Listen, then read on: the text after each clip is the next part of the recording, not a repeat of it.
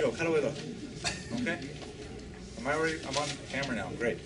Um, opening joke. Sorry, I had to step outside because I forgot to download it from the cloud onto my computer, and uh, so I was standing outside using the Wi-Fi from the mall next door to download.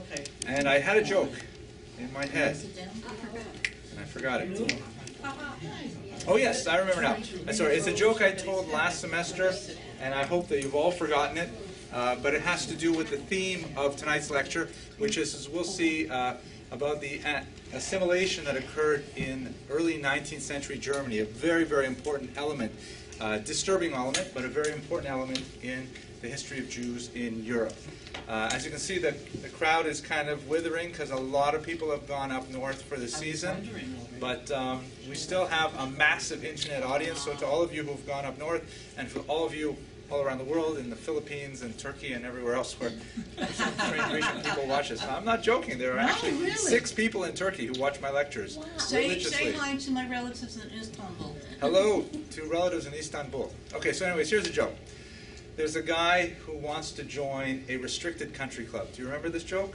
I think you told it. No. I did tell it last semester. I'll tell it again. Okay. Just laugh really loud because with few people in here, it changes the dynamic.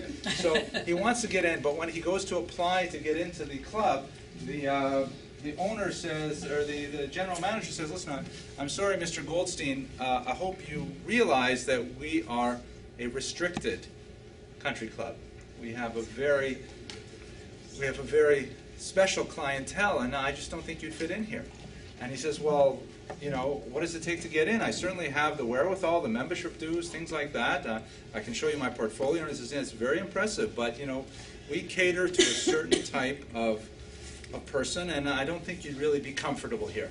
So he says, well, what does it take to enter? He says, well, first of all, you have to have a sponsor. Someone who is currently a member has to sponsor you. So he says, well, can I see who are members here? I says, sure. And he brings out the membership list. He looks down the list, Abercrombie and Barclay and Cohen. Oh, perfect. So he says, I'm going to go over to Rep Cohen's house and I'm going to say, listen, can you sponsor me to um, enter this country club? So he- leaves the, uh, the office and he goes, drives over to Cohen's house, knocks on the door, big mansion. Cohen opens the door and he says, Shalom Aleichem, Reb Yid. My name is Goldstein, and uh, I'd like to join Flaming Crosses Country Club. and I was hoping that you would sponsor me. And Cohen says to him, Listen very carefully, Mr. Cohen, Mr. Goldstein. I am a Presbyterian. And my father was a Presbyterian. And even my grandfather, alav hashalom, was also a Presbyterian. It, the laughter is really much louder. It's just it's acoustic. Okay, here we go. Let's. Uh, tonight's lecture is about Rachel Varnhagen, a very significant character as a. Uh, as uh, an emblem, really, of some profound and sometimes we'll see disturbing social trends in 19th century Europe. Uh, you'll get a sense from the lecture that, in fact, this is not a Saturday morning sermon. In many ways, this is going to be uh, a difficult and problematic theme. Maybe that's why we have a, a thinner audience today. But it nevertheless addresses issues that first seriously arose at the beginning of the 19th century and uh, continue to plague the Jewish world today. We'd like to thank Mr. Eliezer Hermes for sponsoring today's lecture. Uh, we really appreciate uh, the support. Being here is sponsorship enough. We love it. But for those of you who are off up in New York and in New Jersey enjoying the, uh, the fair weather there, we certainly encourage you to sponsor. I think we have three or maybe four of the most lectures left that are not sponsored. Um, and otherwise, we're, we're great. Okay. Her dates are 1771 to 1833. She lived the entirety of her life in Berlin, with the exception of some traveling in the uh, region of northern Germany.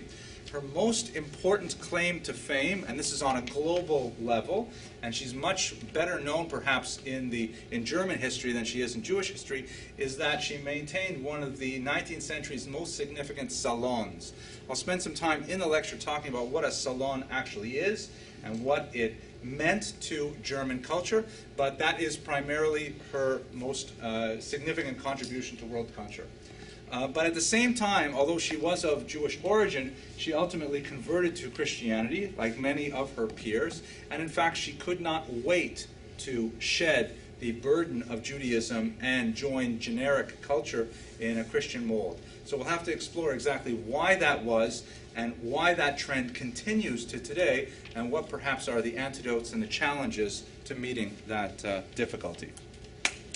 What I'd like to say at the outset is that, you know, if we were to be parachuted into early 19th century Germany and we were to go into a large city like Berlin and you would see young Jewish people who were, you know, thinking about conversion to Christianity, the correct question would not be why would they do it. The correct question would be why not? Why should they not do it? The pressures to convert to Christianity were overwhelming. It was not a coercive pressure. It was a it was a uh, kind of a it, it was a, uh, a vacuum that was sucking Jews into the outside world because there was very little in the Jewish world to hold them fast to their traditional ancient values and beliefs. The uh, rabbinic establishment had by and large failed the youth of that period to invest in them a sense of the value of Jewish culture and tradition. They found it desiccated and without meaning. And when they looked to the outside world, they saw only opportunity and possibility, and it was merely a small, meaningless ritual of baptism that kept them from joining the uh, larger stream or the larger current, shall we say, of world culture and participating in all of the exciting things that were happening out there. We, sitting here in a synagogue in the tw- late 21st century, are the survivors of that phenomenon. Uh, and for us, because of our perspective, it looks so alien. And in fact, we say, like, why would you want to do that? It's such a betrayal of thousands of years of Jewish history, so many generations of Jews. But in reality, if we were to put ourselves properly in that historical context, the choice would have been clear and was clear for many Jews at the time. We represent what many sociologists call the hardening of the core. As the periphery becomes much more diffuse, as the, as the outsides of the population become less you know, entrenched in core values, they tend to fritter away, and the people who remain towards the center uh, in a kind of centrifugal force, no, it's a centripetal force, are drawn in closer. So we're kind of in close to the core. We feel the gravity of the Torah. It's a nice metaphor, isn't it? Think, Mr. Rodriguez? We feel the gravity of the Torah, and we circle in. Uh, okay, I can't work it any further. But the idea is we stay close to the center here, and it's hard for us to understand what's happening on the periphery. But nevertheless, that is really the phenomenon we're going to be looking at. All those Jews at the periphery, and as we shall see, they were the largest proportion by far. To put it in historical context, this is an era when all the countries of Western Europe were exploring the possibility of emancipating the Jews. Emancipation essentially referred to the transference of transient status of the Jews, which they currently enjoyed or endured, to citizenship status. Uh, like, for example, I happen to be a Canadian citizen. I hold a green card, so I have certain rights and privileges to live in this country, and I can travel relatively freely in and out of the country, things like that. But, you know, nevertheless, I am still a landed immigrant, and I could lose those rights at you know lose those privileges under all kinds of circumstances. I can stay here for a very long time. I have like a year on my card and i have to renew it and things like that. But that's basically the status of jews in europe. For 800 years they were transients subject to the whim of the ruler. Yes? How do you get the youth back into the temple? That's- the- that's an Anyone excellent question. Uh, i'm going to have some slides on it in about 40 minutes. Okay. and they're good slides. And they're things we can do right now um, so, uh, and that's the way the Jews were. So, a lot of the states in Europe were exploring ways of perhaps emancipating the Jews, not emancipating the Jews. There were arguments for and against, as we shall see. We'll look very quickly at each of the countries that were really important. Uh, France is caught up in the zeitgeist of the revolutionary era. And although when they first, um, you know, proclaimed liberté, égalité, fraternité, liberty, equality, and brotherhood, uh, they didn't think of including the Jews. In fact, they didn't think of including women, and when they were specifically asked by Marie Gouge to include women in that statement, they said, no, no, no, no, that's ridiculous. We're only dealing with men's emancipation. The women's question would take quite a bit longer to solve. Um, so the Jews put up their hand and said, what about us? And the, uh, the French revolutionaries said, are you, wait a second, no, we weren't thinking of you either. But ultimately, within a few months, in the year 1790, uh, France emancipated the Jews of Bordeaux and Bayonne, the Sephardic Jews who were really much more acculturated to French society. They were francophones. They were they dressed like French people. They did not live in such tight little discrete knots like they did on the German border in Alsace-Lorraine.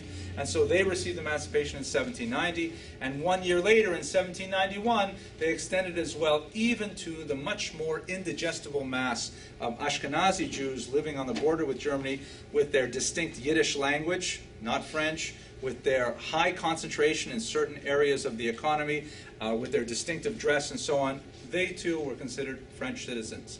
Uh, and ultimately, uh, they confirmed that. 20 years later, there was a challenge to it. Many people in France felt that the Jews were taking advantage of their emancipated status to economically dominate the rest of the population. They were, their residence rights were unlimited at this point. They had no discriminatory legislation keeping them within certain economic activities. And um, as a result, they petitioned Napoleon, who was at that time, uh, I believe he had already proclaimed himself emperor, or perhaps would therefore shortly. Um, they said, wait a minute, it was a mistake to emancipate the Jews. So Napoleon, in a very bold move, um, asked that the Jews assemble a, an authoritative body that could answer on behalf of world Jewry. Right? Sometimes it happens, it makes people feel better. Sometimes when, you know, as Rabbi Berel Wein likes to say, never confuse Jews with Judaism. Because Judaism is great. Jews, sometimes. So uh, every now and then when, when a Jew does something wrong, like behaves badly in line or something like that, I feel, I feel compelled to go up to the person who's offended and say, listen, on behalf of world Jewry, I want to apologize. You know, it makes them feel better. So, apologize. Anyways, we'll edit that part out if I have time. Uh, here, so what Napoleon does, he brings together the Great Sanhedrin, and he asks them some very basic questions. The Great Sanhedrin, I should tell you, it was an amazing achievement to bring together this body that had not met since the ancient world. Uh, and it was met with some suspicion, but a great deal of enthusiasm in the Western Europe as well. It was headed by the, the great uh, commentator on the Mishnah, David Sinsheim, uh, but uh, the majority of the people who were in the Sanhedrin were actually non-observant. They were maskilim who really wanted emancipation to be confirmed by Napoleon.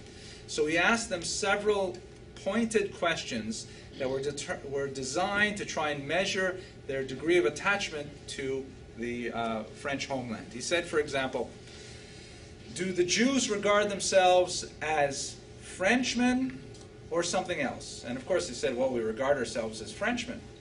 Men again. And then he said, uh, so if we were to get into a war with, let's say, Germany, the Jews of France would fight for France, right? And they all, as the minutes record, stood at once and they shouted, Jusqu'à la mort. We'll fight for France just to the death. Well, it doesn't matter. We will certainly defend France. And then he asked them a couple more questions that are sort of like, uh, well, a little more ambiguous answers. He asked them, for example, um, do, are Jews allowed to marry non-Jews? And the Sanhedrin says, someone answer? They said yes. They said yes. They sort of said, well, technically, uh, could you repeat the question? They said yes. Uh, they said it with a great deal of kind of like padding, saying that we don't recommend it, yeah, cross your hands behind your back. It's not uh, acknowledged and not encouraged, but if a French man marries a, a, a Jewish man marries a French woman, then we do not have the power to dissolve that relationship. Why would they say yes to such an obvious no answer? Very easy. We have to survive. Uh, exactly. They knew what Napoleon wanted to hear. They knew that Napoleon wanted to hear. We sell ourselves very good in other people, not even among us, but to other people, we know how to sell our, our goods. Exactly. We knew what Napoleon, what answer Napoleon wanted, and the Sanhedrin said, yes, it, no, it can't, yeah, okay. And we gave it away to Napoleon, and Napoleon said, fine, so you guys, I'm not going to listen to the critics, and your emancipation is confirmed. He did put in place some anti-Semitic legislation at that point, which is larger than our discussion for now, but nevertheless that confirmed emancipation, and in many ways the fateful answers of the Assembly of Notables, later known as the Sanhedrin, charted the way in which Jews would carve out their existence, to mix a metaphor, charted the way the Jews would sail their existence through modern states. Here's a great picture.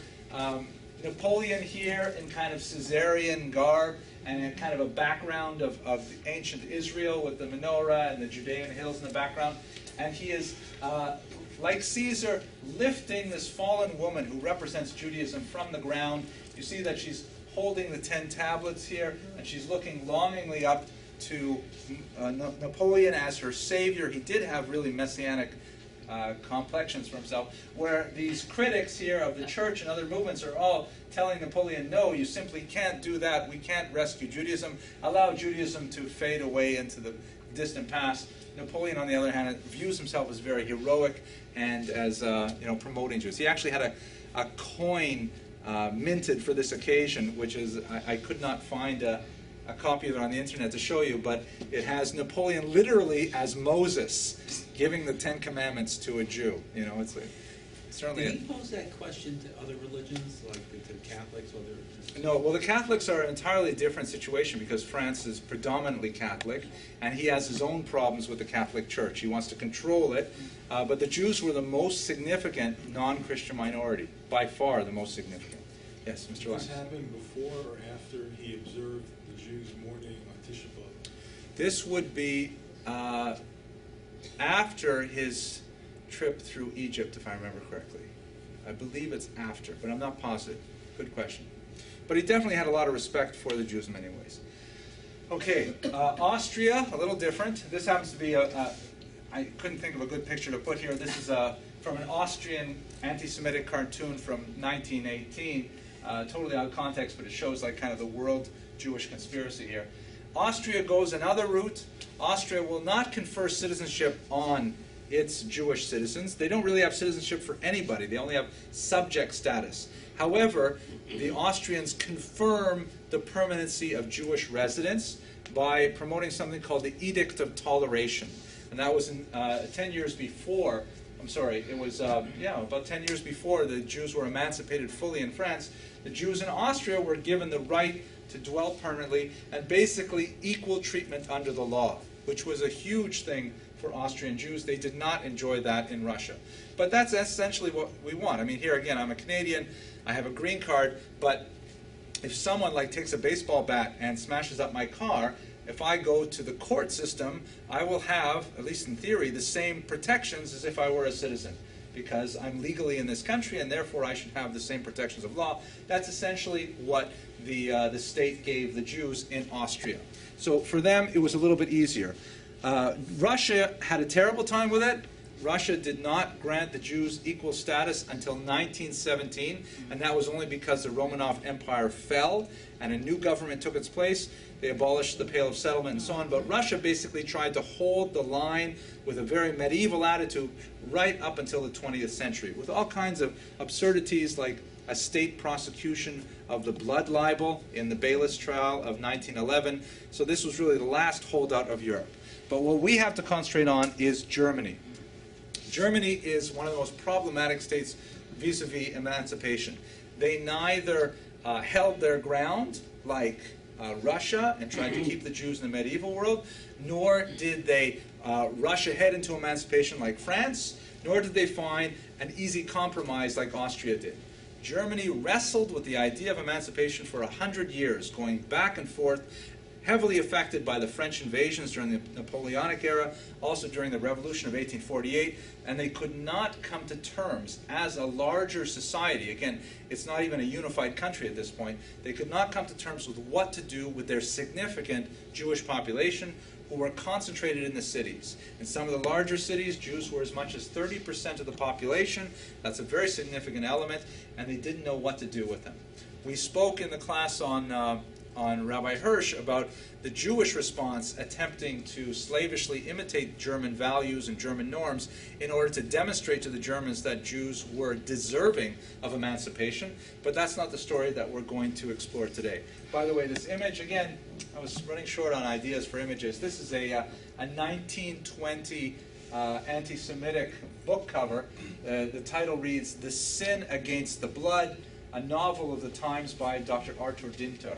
And it shows uh, the Aryan man here, you know, muscular and so on, no shirt, and the, uh, the Jewish vulture who's weighing him down and will eventually feed on his carcass. So it's a, it's a novel that speaks about, or a, a, not really a novel, even though he calls it a roman, it's a book that speaks to the, uh, the German fears of eventual Jewish domination, which is something that we'll explore in a later class when we talk about Hannah Senesh. So let's get past this for a second.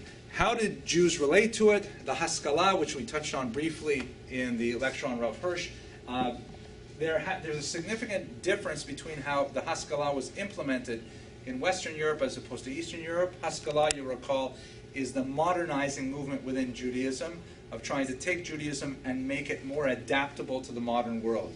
How that was expressed in Western Europe, it was openly assimilationist. Many Maskilim themselves took the, the final step of converting to Christianity and urging their followers to do so.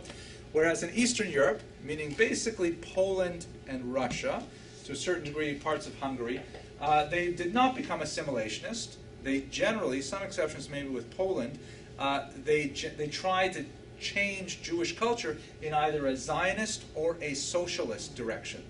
Very different kind of approach. In Western Europe, they advocated uh, linguistic training in the vernacular, German in our context. In Eastern Europe, they did not really press the use of Russian or Polish. Again, Polish is a little bit different. They did not press Russian for sure.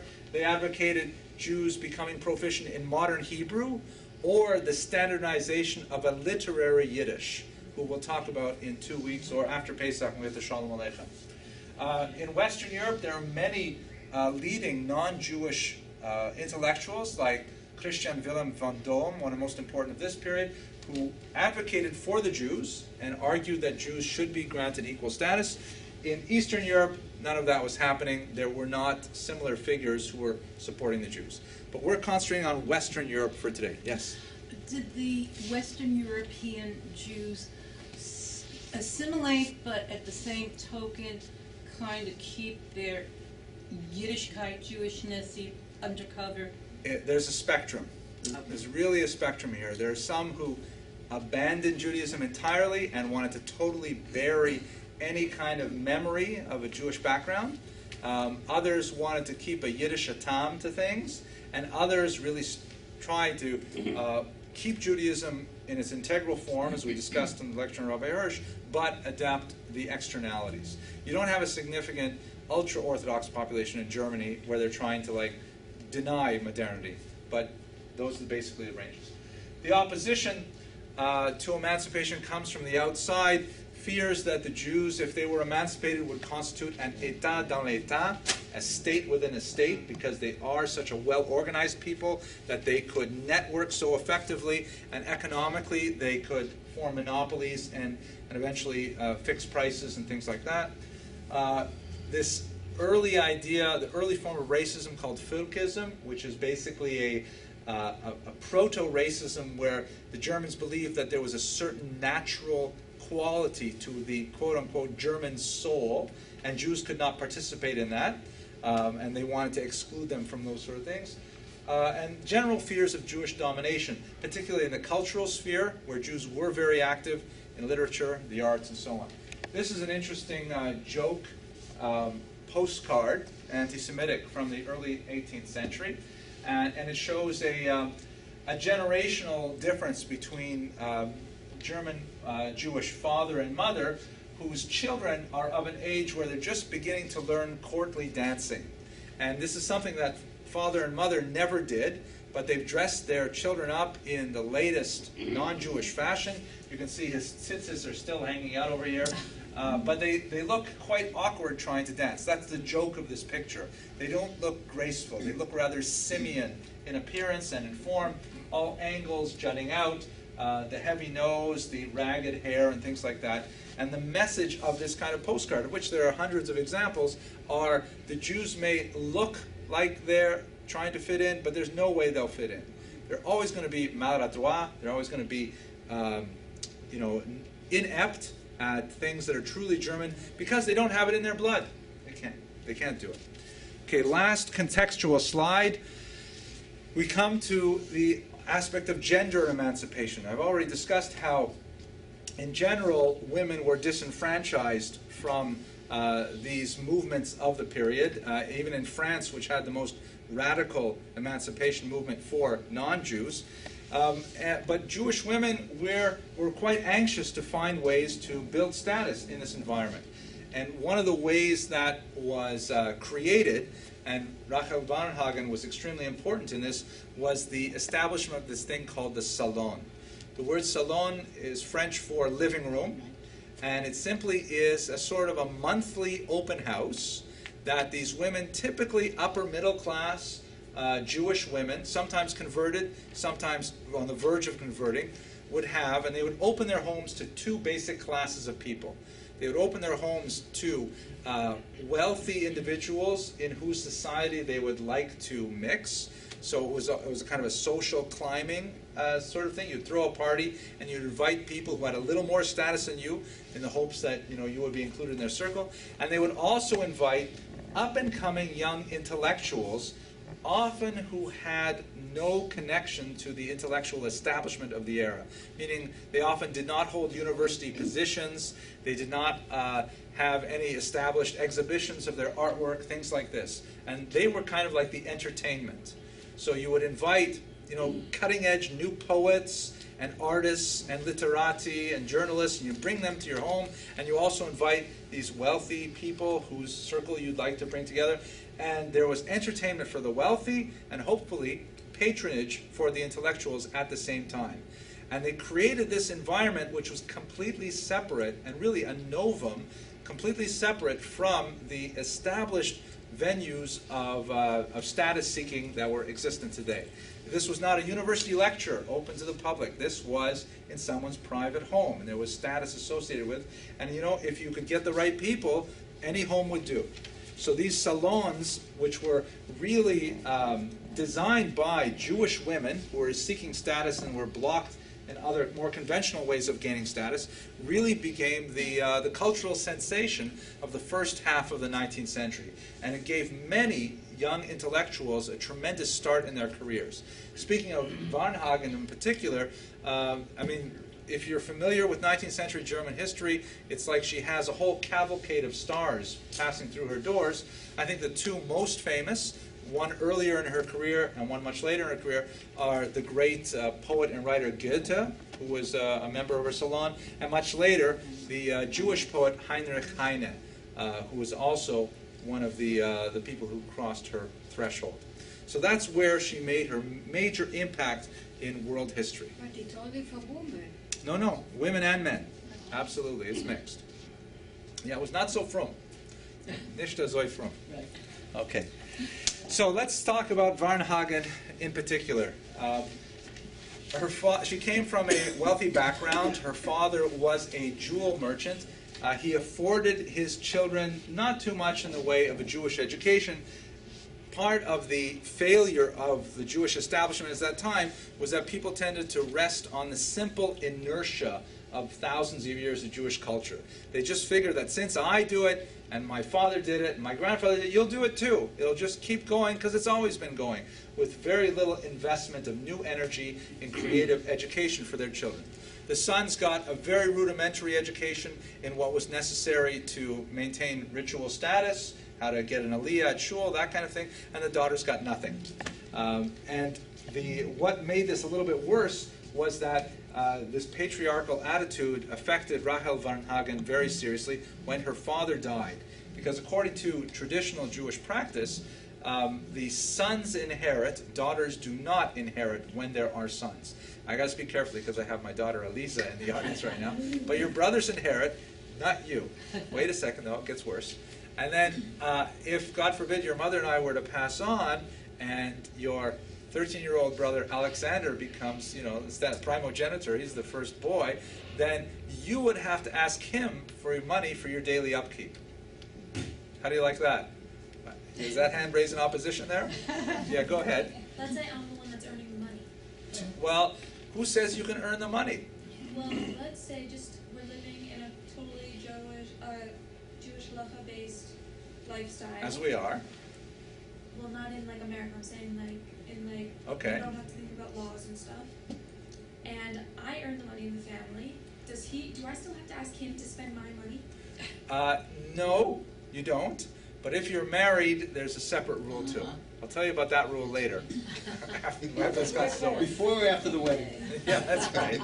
Uh, Ma'aseh Yadenu. Okay, so here, anyways, what you can do, and what your mother and I have done, by the way, is you can uh, create these things called matana mechayim, you know, a gift while alive, such that our will is set up so that you don't have to rely on Alexander to, to give you money. Okay, so yeah, thank God willing, it's 120 years, you know, it's 120, but that's but this is not the way they set it up.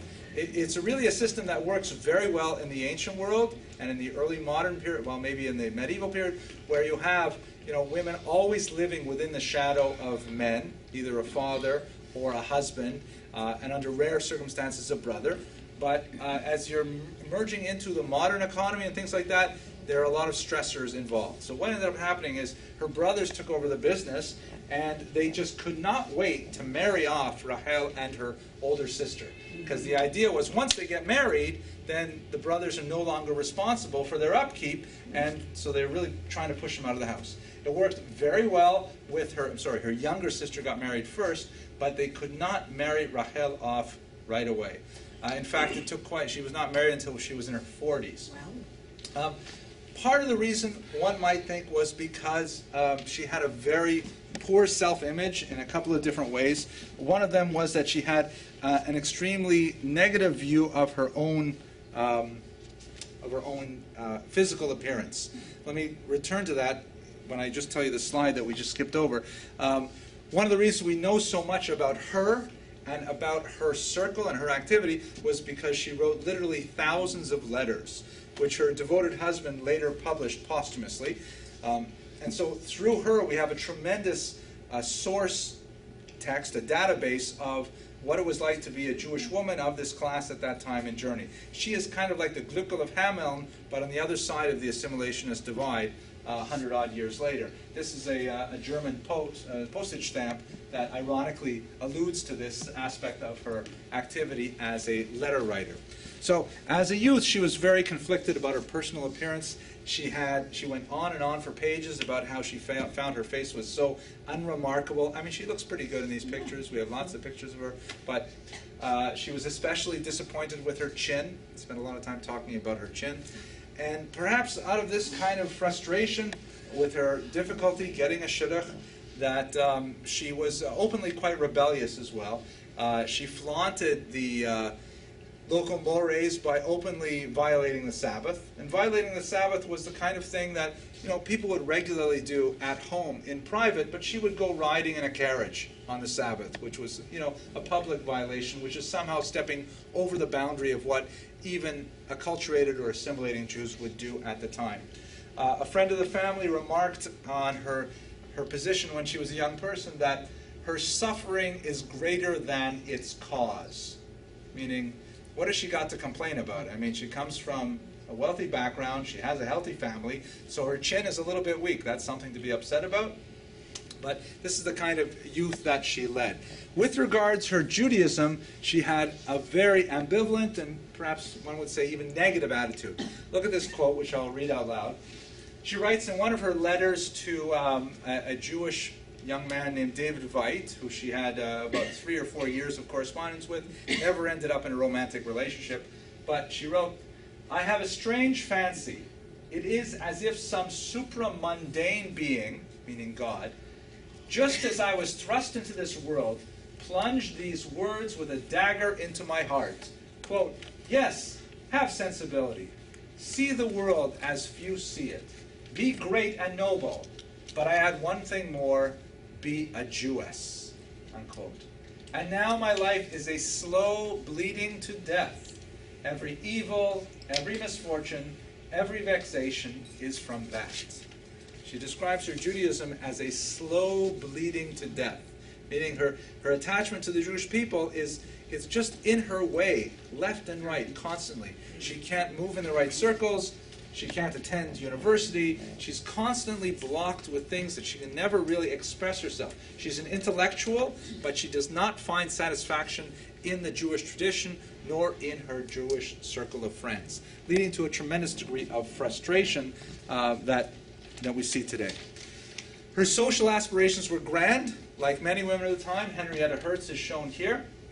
And she's like at that class in society where her family has attained a certain degree of wealth, but they cannot translate that wealth into social status. So she's always on the fringes, on the outside of society, wanting to get in.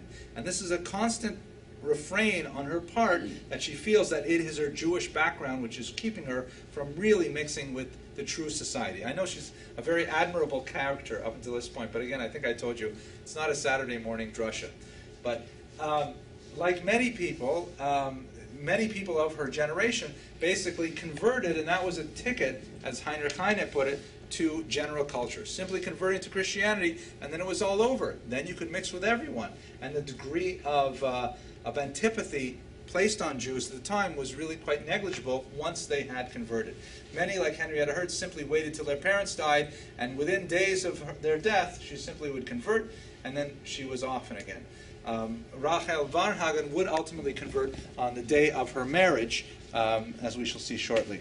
She was engaged twice to rather interesting people, but the uh, engagements schlepped on for several years and ended up being uh, invalidated in the end, including Don Rafael de Urquijo, I'm not sure how to pronounce that, who was the Spanish consul delegate to Berlin. Uh, she was engaged to him. How do you pronounce that? Urquijo. Urquijo. That sounds so good. Urquijo. Uh, and he, they broke it off after two years of engagement. She was not ultimately married until quite a bit later. Estabel, you had a question? Yeah, I was just going to say, when they convert to be accepted in society, are they really, or are they still Jews? The, the society they moved in became so suffused with Jews that the level of acceptance was generally total. Uh, definitely, when you move a little bit lower in the socioeconomic rung, then there's a lot of seething mistrust that will eventually bubble to the surface when we get to the 1870s. Um, and we'll talk perhaps in another class about Heinrich von Treitschke and his uh, movement. Uh, Berlin, Napoleon invades in 1806, and this spells the beginning of the end for Varnhagen in many ways. Her salon is broken up because uh, Berlin has been taken over by the French, by the French, and many of her close associates flee the town, and they're not able to gather in the same way that they had before. The family business falls apart. Uh, the the brothers stop sending as much money to her and her mother, and they ultimately cannot afford the home that they're living in. So the mother and Rahel have a huge falling out, and she moves to a small apartment, uh, which is more in line with the uh, very modest means that her brothers are supplying her with. In 1808, she meets uh, Varnhagen. Uh, I don't want to go into his biography in great detail, and it takes quite a while, but by 1814, she ultimately settles and decides to marry him at age 43. They do not have children.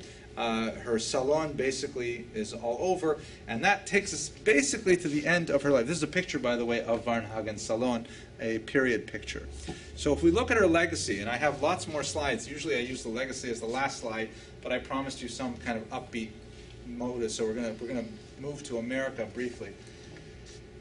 She is, even though I've given you really the highlights of her biography, it's not a heroic biography in Jewish terms.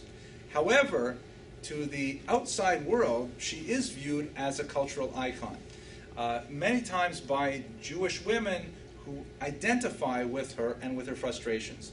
The most prominent of which is, of course, her biography, the great philosopher Hannah Arendt, who also has a problematic biography on her own. She had some very um, close relationships with professors when she was in Germany, and those professors ended up becoming Nazis, even though she was a Jewess who eventually moved to the United States.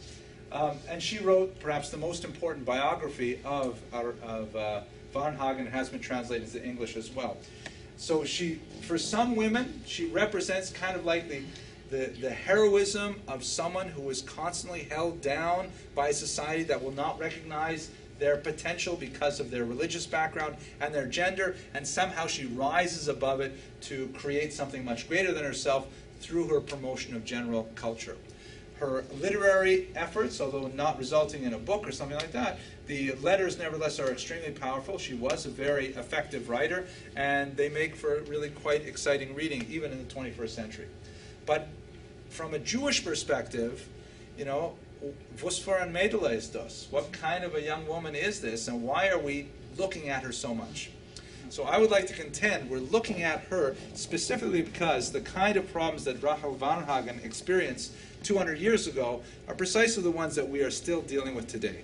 And to that end, I would like to share with you some statistics from the National Jewish Population Survey, and I will conclude with uh, the, the famous Heilman thesis. So before I take you to these statistics, did I see a question? Yes. Yeah. Would you say that the kind of assimilation that was going on in Germany at that time would be comparable to what we have today in the United States? Yes. Okay. Yes. Uh, there are different features. Um, the, in many ways, the assimilation in America is far worse. At least Varnhagen knew what a Passover Seder was supposed to look like. At least she knew something about what it meant to observe Shabbos. You know, as, as my Rebbe used to teach, you know, we're coming up to Pesach, the story of the four sons. So my Rebbe, uh, Zecher Tzaddik Livracha, always used to say, it's not four brothers, it's four sons. The Zayda is the Chacham. He's the one who actually practiced Judaism as it was in the old country. Then there's the father, who is the Rasha, who, you know, abandons Judaism and so on, and he says, What is all this for? I don't need this. The uh, Tam is the grandson who sees that his father and his grandfather have some kind of conflict, and he just goes along with things, but at least he has some consciousness of what Zaidi does on Pesach. But the fourth son, the great grandson, is Sheno Yodea Lishol, the one who does not know how to ask. He doesn't even have a concept of what Pesach is like. So we're living, as he used to say, like um, orphans at a Shiva house, where you know we have all these people coming in to visit us, and it seems exciting, and we're very, you know, like you ever see little children at a Shiva house, they think it's fun because. You know, look, all these relatives, all these people, and, and they don't realize the reason why these people are coming is something very tragic and sad. So that's really our generation. And then there's the fifth son who doesn't show up. The fifth son doesn't show up. Exactly. Okay, so let me take you to the National Jewish Population Survey. This is a major survey that is conducted every 10 years by Federation. Uh, it is somewhat controversial. I'm showing you the 2000 results. There are 2010 results which are slowly being released and are problematic. Uh, and 1990 results were, were just shocked the Jewish world. The Federation movement really changed dramatically when those results came out. So there's, there's a little bit of debate over the specific numbers. Uh, demographers will quibble about them, but let's just look at the general patterns.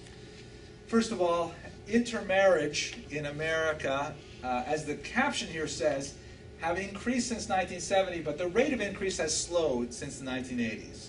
So I think that caption is trying to put a positive spin on a really negative graph, because ultimately, uh, in the last decade of the 20th century, 47% of Jews who had got married married a non-Jew.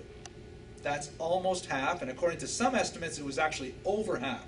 But just think of it: if you have 100 Jews getting married, 47 of them are marrying a non-Jewish partner. It's a, it's a terrifying thing, and that's only slightly up from the 1980s. It's been like that for about 30 years. There's no reason to think it'll be any less in the last decade as well. Yes, The John. good news is that I think the divorce rate is like fifty percent. Well, okay, and then they get back on the market. I wonder what the second marriage. Actually, I think I have seen statistics. Uh, it's m- intermarriage is far more likely in second marriages. So you know, the divorce rate may be up for for intra-Jewish marriages, but the chances of those people then remarrying another Jew are e- even less. Uh, so that that's a really scary statistic, and perhaps this is like the the clarion call for all of us. Is like intermarriage is perhaps the leitmotif, the litmus test of of what constitutes Jewish identity. Um, but the good is that, and this is something we should all know obviously, but the statistics really bear it out, that education at childhood level is the best antidote to intermar- intermarriage. Like, for example, asking uh, intermarried uh, Jews, did you have any Jewish education? 43% said no. So, uh, looking at the causality problem the other way, the, the high degree of uh, low Jewish, that's terrible, the low Jewish education is positively correlated with intermarriage. You don't send your kids to day school, God forbid, you have a much higher chance of them intermarrying. And it drops 29% for Jews who went to multiple days a week uh, Jewish school. Like I did myself, I went to a public school during the daytime, and then for three years I went for a couple of hours to the local Jewish school for you know to learn a little bit about Hebrew and things like that. It's a, a funny story. My you know, it's a, it's a great story, really, about how my parents went through so much sacrifice to give me that education. I'm scared to put it on the internet. So many people should see it, but um, but I will tell you this: my father would appreciate this. When my father was inquiring from his cousins and his brothers and sisters, what what school should I send Henry to? And the uh, the parents said, well, send him to this school. They, they said, send him to this school, that school. But whatever you do, don't send him to that Orthodox school because they're crazy over there. So my father, kind of guy he is, he said that's exactly where he's sending me. And I ended up going to an Orthodox school, but it was just like evenings and that kind of thing. Uh, this is 23% for Jews who attend once a week. So in other words, if children who go to let's say Sunday school, it's it's still a uh, significant uh, decrease in the risk of intermarriage, but it's it's really you know only half of no Jewish education. And in Jewish day school and yeshiva experience, 7% of kids who went to a Jewish day school will intermarry. That's, you know, an alarming statistic, but it's certainly far less alarming than no Jewish education whatsoever. So the best, you know, way to deal with this problem, ab initio, is to make sure that your kids get uh, a good Jewish education in yeshiva when they're young. Uh, and this is the good news also is that the trend is moving in that direction. It's, this is another example of hardening of the core. Of you know the periphery may be assimilating away, but the Jews who retain a closer connection to Judaism definitely are getting more Jewish than they used to be. And I have a slide about that as well.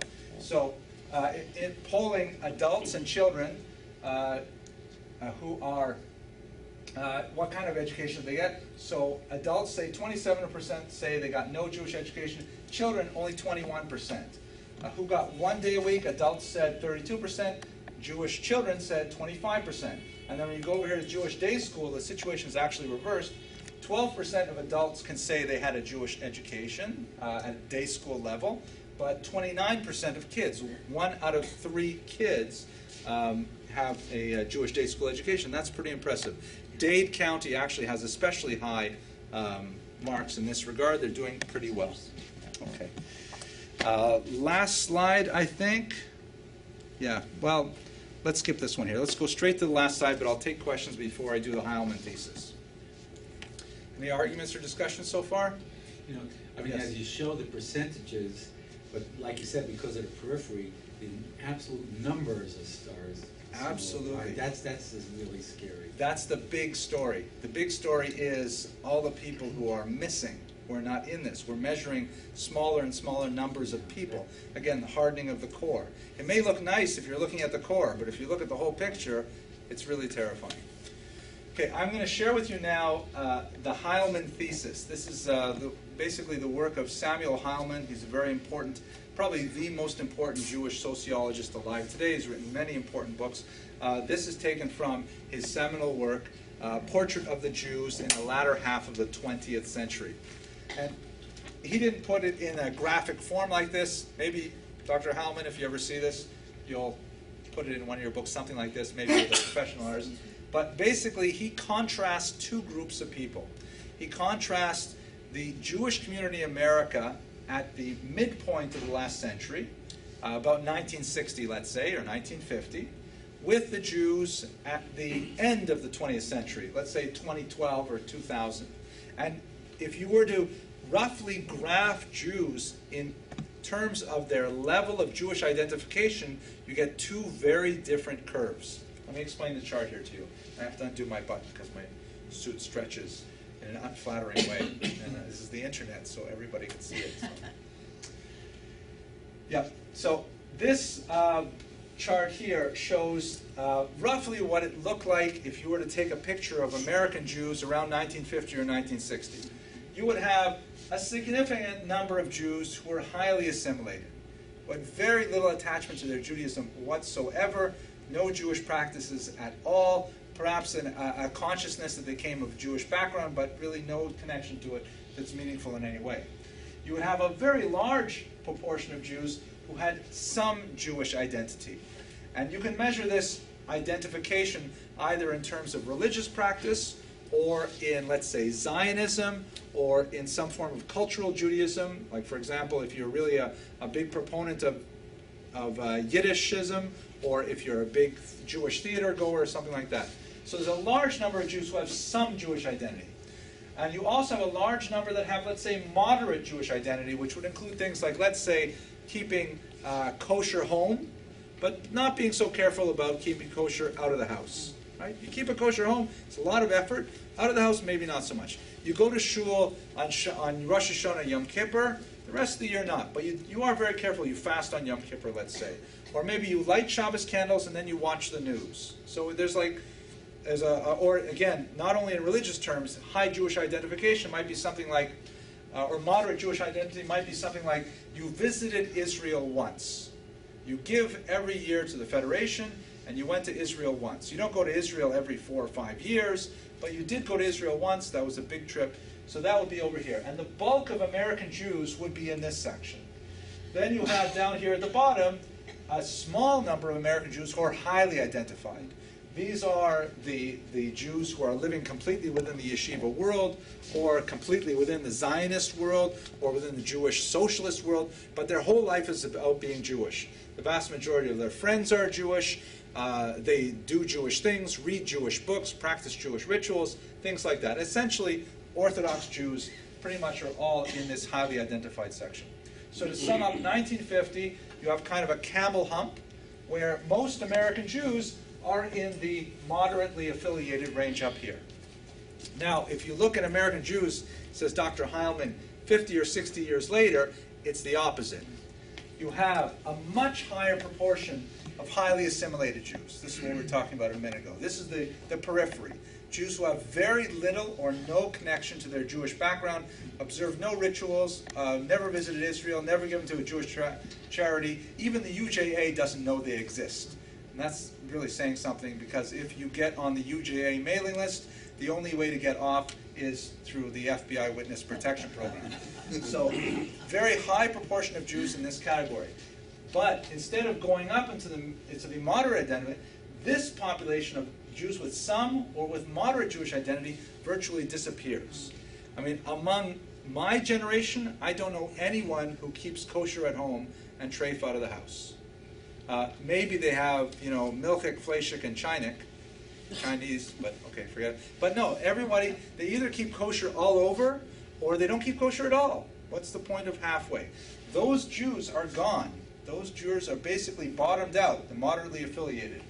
And here on the far end, the highly identified, there's clearly an uptick in the highly identified Jewish population. The Orthodox population, for sure, has grown significantly, and there's you know more day schools, more daf yomis, all kinds of things like that. So Heilman cautions us to say, don't feel so happy about this uptick in the highly Jewish identified, because he says it's a temporary bubble. He says that we cannot sustain this population. The reason is because of the Abramson rule in history. Mr. Lax, the Abramson rule? Money. It's all about money. Because listen to this, and he demonstrates this with startling clarity. In 1950, when these Jews here in the moderately affiliated range, when they gave their charitable donations, they always gave their money to the right. They always gave their money to Jews who were more affiliated than they and their institutions. They always gave money to, they didn't send their kid to a Beis Yaakov, but you know, if a Meshulach came, they wrote a check for the Beis Yaakov. They didn't go to Israel maybe more than once, but they would always give a donation to Israel.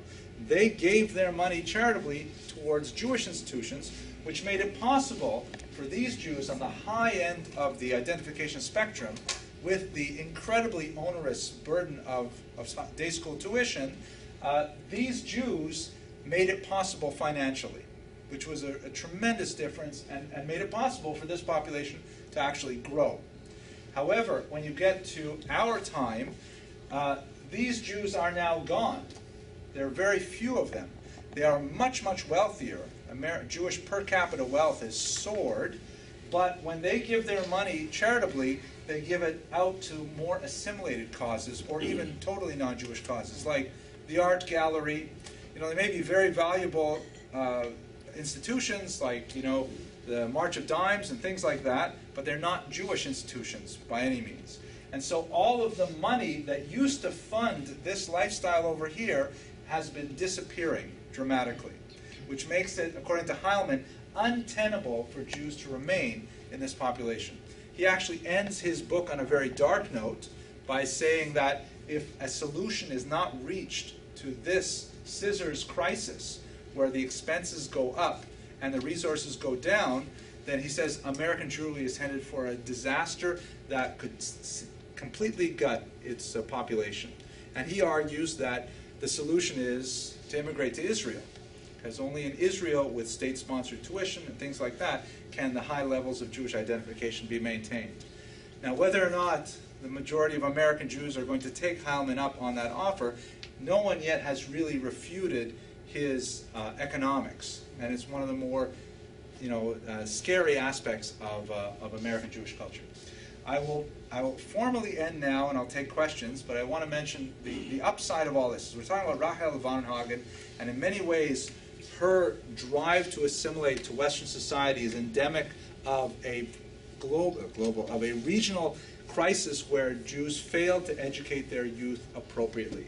We see statistically it's incredibly important that we provide for Jewish education at all levels, but particularly for those sensitive childhood and adolescent years. And I urge you to think of that carefully when you decide your own charitable donations for the coming year.